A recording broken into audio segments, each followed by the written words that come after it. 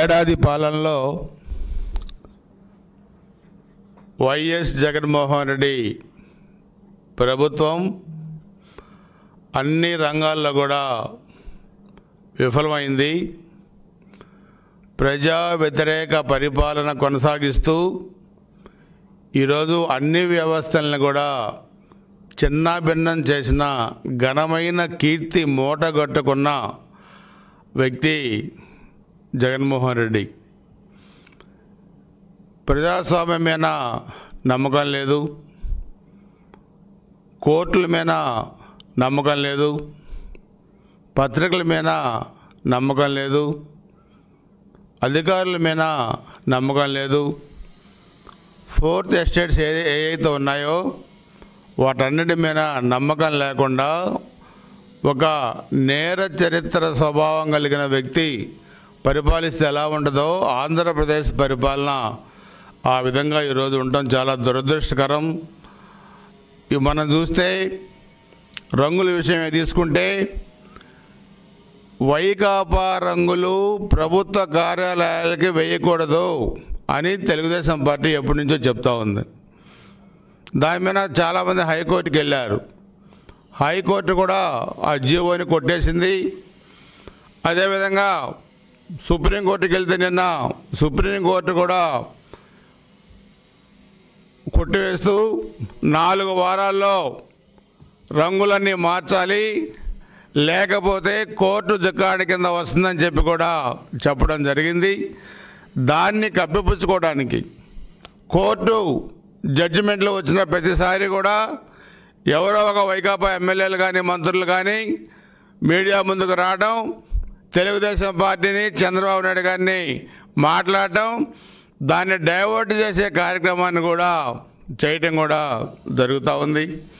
పిచ్చి ప్రేలాపనలు మతి భ్రమించి మాట్లాడటం పసలేని ఆరోపణలు. నిన్న అంబటి రాంబాబు నిన్న మాట్లాడారు. తెలుగుదేశం పార్టీపై చంద్రబాబు నాయుడు గారిపై లోకేష్ గారిపై కూడా మాట్లాడారు. మాట్లాడిన ప్రతి ఒక్క వైసీపీ నాయకులు కూడా ప్రతి ఒక్కసారి కూడా చంద్రబాబు గారి వయసు గురించి మాట్లాడుతున్నారు. లోకేష్ గారి రాజకీయ భవిష్యత్తు గురించి మాట్లాడుతున్నారు. వైకాపా నాయకులకు నేను ఒకటే చెప్తా ఉన్నాను. మీరు కావాలని చెప్పి ఇష్యూని డైవర్ట్ చేయడం కోసం ఇష్యూని ఏదో విధంగా పక్కదారి పట్టించడం కోసం ఈ విషయాలన్నీ కూడా మీరు మాట్లాడుతూ ఉన్నారు. ఒకసారి గుర్తుపెట్టుకోండి. ఈ భారతదేశ ప్రధానమంత్రి నరేంద్ర మోడీ గారి వయసు చంద్రబాబు గారి వయసు ఒకటే. ఈ భారతదేశంలో ఉన్న అనేక మంది ముఖ్యమంత్రులు ఈరోజు కర్ణాటక ముఖ్యమంత్రి కానీ గుజరాత్ ముఖ్యమంత్రి కానీ మధ్యప్రదేశ్ ముఖ్యమంత్రి కానీ పశ్చిమ బెంగాల్ ముఖ్యమంత్రి కానీ బీహార్ ముఖ్యమంత్రి కానీ కేరళ ముఖ్యమంత్రి కానీ ఒరిస్సా ముఖ్యమంత్రి కానీ వీళ్ళందరూ చంద్రబాబు నాయుడు గారి వయసు కాదా? కేంద్రంలో ఉన్న మంత్రుల్లో డెబ్బై ఎనభై శాతం మంది కేంద్ర మంత్రులు చంద్రబాబు నాయుడు గారి వయసు కాదా? అంటే వయసు మీకు పెరగదా? మీ నాయకుడు జగన్మోహన్ రెడ్డికి పెరగదా అని అడుగుతా ఉన్నాను. ఈ విషయాలన్నీ కూడా మీకు కూడా తెలుసు. కానీ ఈరోజు చంద్రబాబు నాయుడు గారు ఏదో వయసు అయిపోయిందని చెప్పి మాట్లాడడం ఈ అంబటి రాంబాబుకి ఈ గడ్డం బ్యాచ్కి కూడా చెల్లదని చెప్పి కూడా మీరు గుర్తుపెట్టుకోవాల్సిన అవసరం ఉంది. రాంబాబు ఒక్కటి అడుగుతాను నిన్ను. ఈరోజు చంద్రబాబు గారి వయసు గురించి నువ్వు మాట్లాడుతున్నావు. చంద్రబాబు గారితోని తిరుమల మెట్లు ఎక్కి చంద్రబాబు గారితో నడగలవా అంబటి రాంబాబు? ఒక్కటి నీకు ఛాలెంజ్ చేస్తా ఉన్నాను నువ్వు మగోడు అయితే. చంద్రబాబు గారితో పాటు తిరుమల కొండ ఎక్కగలవా? ఎక్కితే అప్పుడు నీ భవిష్యత్తు ఏంటో తేలుతుంది. అది కూడా గుర్తుపెట్టుకోవాల్సిన అవసరం ఉంది. చంద్రబాబు గారు ఇంకా ఇరవై ఐదు సంవత్సరాలు రాజకీయాల్లో ఉంటారు. అదేవిధంగా లోకేష్ గారు చూస్తే ఏంటి లోకేష్ గారి గురించి మీరు మాట్లాడేది? లోకేష్ గారికి అనుభవం లేదంటారా? అంటే ఏ అనుభవం లేదంటారు? సూట్ కేసు కంపెనీలు పెట్టే అనుభవం లేదంటారా? లేకపోతే లక్ష కోట్లు దోచుకొని జైలుకి పోయి వచ్చిన అనుభవం లేదంటారా? లేకపోతే విచ్చలవిడితనంగా డబ్బులు సంపాదించే అనుభవం లేదంటారా? రాష్ట్రాన్ని దోచుకుని తినే అనుభవం లేదంటారా? మీలాగా ఏ అనుభవం లేదు లోకేష్ గారికి. లోకేష్ గారు స్టాన్ఫర్డ్ యూనివర్సిటీలో చదువుకున్న ఒక ఉత్తమ విద్యావేత్త.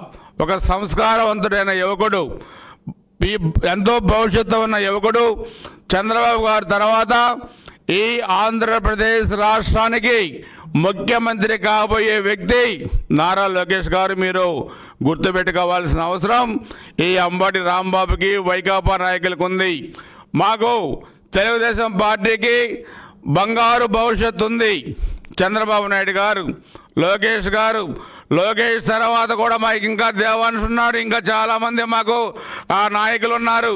కానీ ఒకటే మీకు చెప్తా ఉన్నాను వైకాపా నాయకులకి రేపు మీ నాయకుడు శశికళలాగా జైలుకి పోతే మీ పార్టీకి ఎవరు భవిష్యత్తు నాయకుడు ఎవరో ఒకసారి వైకాపా నాయకులు చెప్పాల్సిన అవసరం ఉంది.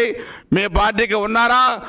మీ నాయకుడి కనుక శశికళలాగా జైలుకి పోతే వైకాపా పార్టీ కుక్కల దింపిన విస్తరలాగా తయారైపోతే వైకాపా నాయకులారా గుర్తుపెట్టుకోవాల్సిన అవసరం ఉంది.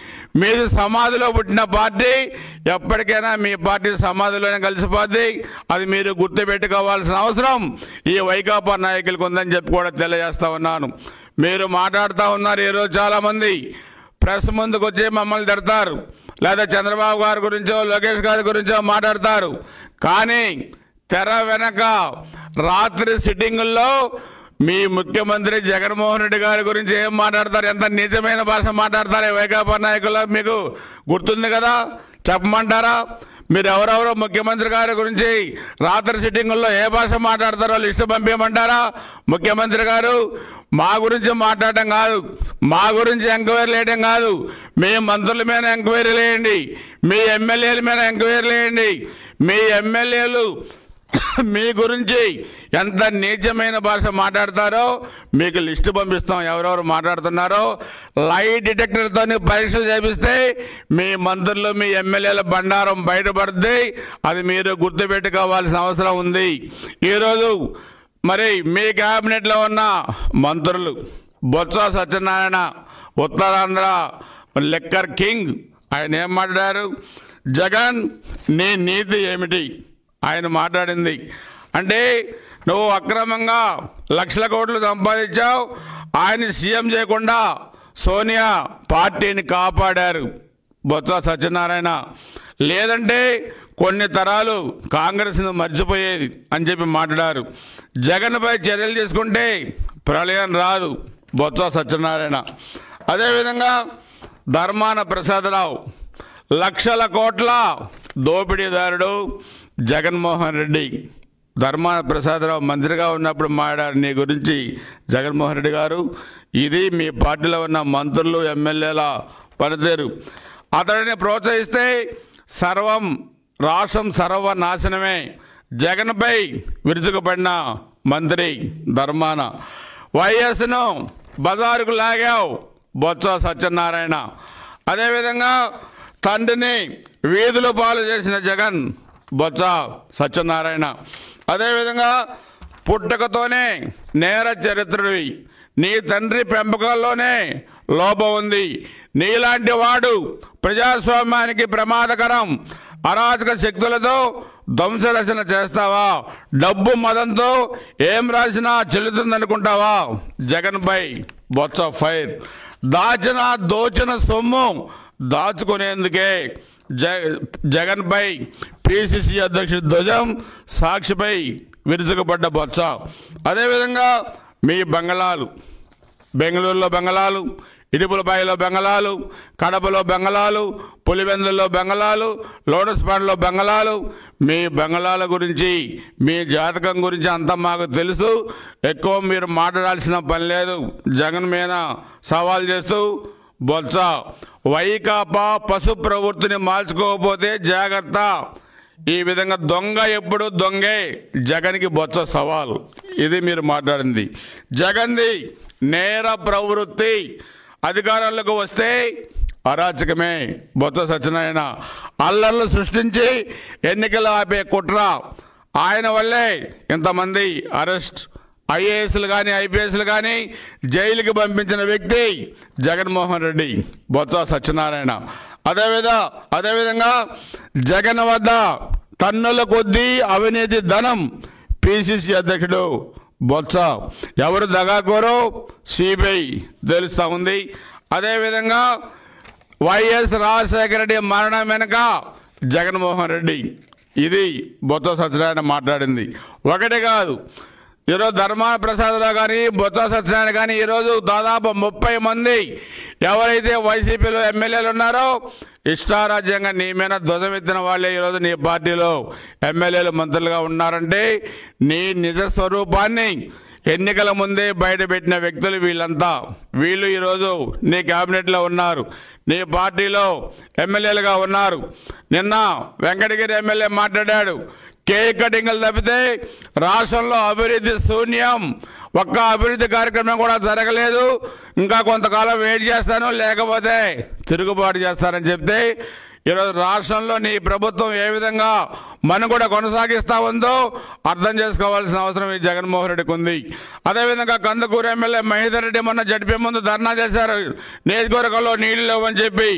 అదేవిధంగా మనం చూస్తే ఏ వినకొండ ఎమ్మెల్యే ఇసుక మాఫియా గురించి మాట్లాడారు? గురజాల ఎమ్మెల్యే లిక్కర్ మాఫియా గురించి మాట్లాడారు? అదేవిధంగా ఈరోజు స్పీకర్ ఉన్నాడు తమ్మినేని సీతారాం. రాష్ట్రంలో నాడు సారా విచ్చలవిడిగా ఏర్లై ఉంది. మరి గంజా అమ్ముతా ఉన్నారు. అదేవిధంగా మైనింగ్ మాఫియా జరుగుతూ ఉంది. ఈరోజు అనేకమైన మాఫియాలు జరుగుతా ఉన్నాయి అని చెప్పి కూడా తమ్మినేని సీతారాం మాట్లాడారు. మీ ఎంపీ రఘురామకృష్ణరాజు పేదలకు ఇచ్చే పట్టాల్లో వందల కోట్ల అవినీతి జరుగుతుంది. దాని మీద ఎంక్వైరీ చేయాలని చెప్పి కూడా మీ ఎంపీ మాట్లాడారు.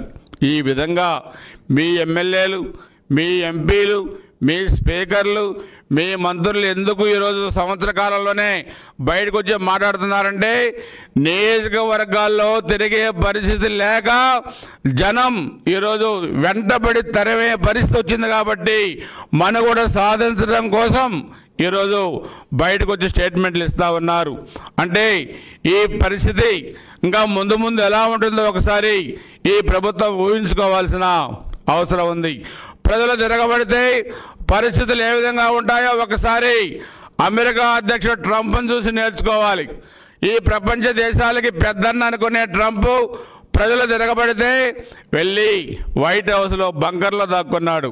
జగన్మోహన్ రెడ్డి గారు మీరు కానీ మీ మంత్రులు కానీ మీ ఎమ్మెల్యేలు కానీ రాబోయే రోజుల్లో ప్రజలు తిరగబడితే ఆంధ్రప్రదేశ్లో బంకర్లు ఉన్నాయా దాక్కోవడానికి మీరు? బంకర్లు ఏమైనా కట్టించుకున్నారా? మాకు తెలియకుండా ఏమన్నా? అందుకని దాక్కోవడానికి మీకు బంకర్లు లేవు. ఈరోజు అన్ని రంగాల్లో కూడా ఈరోజు మీరు విఫలమైపోయినారు. కోర్టులు తీర్పులు అంటే గౌరవం లేదు. ఎస్సీసీ మీద కోర్టు స్పష్టంగా తీర్పిచ్చినా కానీ ఈరోజు అమలుపరిచే పరిస్థితిలో మీరు లేరు. రంగులు మాత్రమని హైకోర్టు ఇచ్చినా ఇంకో కోర్టు సుప్రీంకోర్టుకి వెళ్తారు తప్పితే రంగులు మార్చే పరిస్థితి లేదు ఈరోజు. ఈరోజు రాష్ట్రంలో పరిపాలన ఏ విధంగా ఉందంటే ఈరోజు ప్రశ్నించిన డాక్టర్లని జైల్లో పెడతారు. అంటే డాక్టర్లు ఏమో జైల్లో ఉంటారు ఐఏఎస్ ఆఫీసర్లు ఏమో కోర్టులో ఉంటారు అదేవిధంగా ఉపాధ్యాయులు ఏమో వైన్ షాపుల ముందు డ్యూటీలు చేస్తారు పనిలేని కార్మికులు సగం జీతాలతోని ఉద్యోగులు ఉద్యమ పదంలో రైతులు. అది ఈరోజు ఆంధ్రప్రదేశ్ ప్రజానికం ఆ విధంగా ఉన్నారు. ఆంధ్రప్రదేశ్లో ప్రజలు ఆ విధంగా ఉన్నారు. నీచమైన నికృష్టమైన మీ ఏడాది పరిపాలనపై కేకులు కట్ చేసుకొని సంబరాలు కాదు. ప్రజలు ఏమనుకుంటున్నారో ఒకసారి ఆలోచించుకోండి. పిచ్చి లిక్కర్ని. మీ కంపెనీలో తయారు చేసే రంగు నీళ్ళని తీసుకొచ్చి ఈరోజు కాసుల కోసం కక్కుర్తుపడి ఈరోజు పేద ప్రజల ప్రాణాలతో చెలగాటమాడి మీలాంటి ప్రభుత్వాన్ని బర్తరఫ్ చేయాల్సిన అవసరం ఉందని చెప్పి కూడా ఈరోజు కేంద్ర ప్రభుత్వం కూడా జోక్యం చేసుకొని మీ ప్రభుత్వాన్ని బర్తరఫ్ చేయాల్సిన అవసరం ఉందని చెప్పి కూడా తెలియజేస్తా ఉన్నాను. కాసులకి కక్కుర్తుపడి ఈరోజు ఈరోజు కరోనా టైంలో కూడా నకిలీ బ్లీచింగ్ని పల్నాల్లో తయారు చేసి వేల కోట్ల రూపాయలకు అమ్మిన గనులు మీరు వైసీపీ నాయకులు. ప్రజల ప్రాణాలతోని చెలగాడబడిన మిమ్మల్ని దేశ ద్రోహం కింద కేసు పెట్టాలని చెప్పి కూడా మేము డిమాండ్ చేస్తూ ఉన్నాం. అందుకే మేము ఒకటే చెప్తా ఉన్నాం. ఈరోజు ప్రజాస్వామ్యబద్ధంగా అన్న నందమూరి తారక రామారావు గారు పెట్టిన పార్టీ తెలుగుదేశం పార్టీ.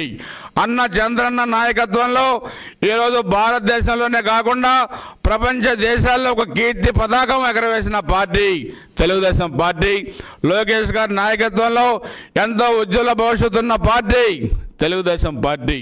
మీలాగా వైఎస్ పార్టీ లాగా వైసీపీ పార్టీలాగా మాదేం మాఫియా పార్టీ కాదు. తండ్రి అధికారాన్ని అడ్డం పెట్టుకొని తండ్రి శవాన్ని పక్కన పెట్టుకొని ముఖ్యమంత్రి కోసం పాకులాడిన పార్టీ కాదు తెలుగుదేశం పార్టీ. గుర్తుపెట్టుకోవాల్సిన అవసరం ఉంది. పిచ్చి పిచ్చి ప్రలాపనలు చేస్తే చంద్రబాబు గారి మీద కానీ లోకేష్ గారి మీద కానీ తెలుగుదేశం పార్టీ మీద కదా నోరు బారేసుకుంటే గబద్దార్ ఉతికి ఆరేస్తా ఒళ్ళు దగ్గర పెట్టుకోవాలి వైసీపీ నాయకులారని అని చెప్పి కూడా తెలియజేసుకుంటూ భవిష్యత్తులో తెలుగుదేశం పార్టీ ఈరోజు ప్రజలతోనే ఉంటుంది ప్రజల మధ్యనే ఉంటుంది. ఎప్పుడు ఎన్నికలు పెడితే తెలుగుదేశం అధికారంలో రావడం ఖాయం. మీకు ప్రధాన ప్రతిపక్ష హోదా కూడా లేకుండా మీరు ఇంటికి పోవడం ఖాయం అని చెప్పి కూడా ఈరోజు తెలియజేస్తా ఉన్నాము. ప్రజలు అంత కడుపు మంటతోని మీ మీద కోపంతో ఉన్నారు. అది మీరు గుర్తుపెట్టుకొని పరిపాలన చేయండి. పోలీస్ వ్యవస్థను అడ్డం పెట్టుకొని సిఐడి అధికారులు అడ్డం పెట్టుకొని మేమైనా పోస్టింగ్లు పెడితే కేసులు పెడతారు. రంగనాయకం లాంటి వాళ్ళ పెద్దవాళ్ళ మీద కేసులు పెడతారు. తెలుగుదేశం పార్టీ కార్యకర్తల మీద తప్పుడు కేసులు పెడతారు. జైలుకి పంపిస్తారు. అవన్నీ కూడా మీకు వర్తించుతాయి కాలం గిర్రున తిరిగి వచ్చుద్ది. గుర్తుపెట్టుకోవాల్సిన అవసరం ఈ వైసీపీ నాయకులకు ఉందని చెప్పి కూడా హెచ్చరిస్తూ ప్రజాస్వామ్యబద్ధంగా మీరు పరిపాలన చేయట్లేదు కాబట్టి ఈ రాష్ట్రంలో ప్రజలు కూడా ఒక నిర్ణయానికి వచ్చారు. ఎప్పుడు ఎన్నికలు జరిగినా తిరిగి తెలుగుదేశం పార్టీని గెలిపించడానికి నారా చంద్రబాబు నాయుడు గారిని ముఖ్యమంత్రి చేయడానికి ఆంధ్రప్రదేశ్ ప్రజానీకం సిద్ధంగా ఉందని చెప్పి కూడా ఈ వైకాపా నాయకులు కానీ ఈ అంబటి రాంబాబు లాంటి వాళ్ళకు కూడా తెలియజేస్తా ఉన్నాం హెచ్చరిస్తూ ఉన్నాం.